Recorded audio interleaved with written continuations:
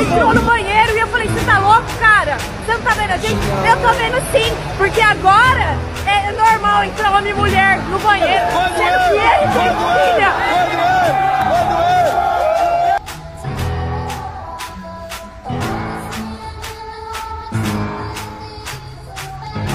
O nosso país agora vai ser isso aí, ó.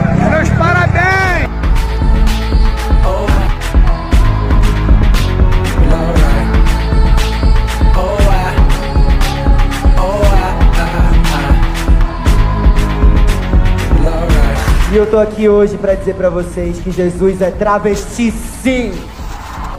Essa é uma pequena amostra de um governo que infelizmente não está alinhado com a palavra de Deus. Tudo isso que está acontecendo é reflexo da escolha do homem. Deus ele nos avisa, nos dá todos os sinais. Mas o homem insiste ir contra. Escolher um governo que visa agradar corruptos e pecadores, que poderá nos caçar e nos calar por simplesmente pregar a palavra de Deus. Definitivamente o homem não suporta que digam que é errado, que é pecado. Ache você que todo governo estabelecido é da vontade de Deus. Lembram-se do rei Saul? Deus tinha instituído os juízes de Israel, mas o povo queria um rei. Desprezaram a vontade de Deus e o rejeitaram como seu próprio rei. Deus ainda diz em sua palavra que eles estabeleceram reis, mas não da minha parte.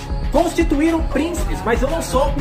Da sua prata e do seu ouro fizeram ídolos para si, para serem destruídos.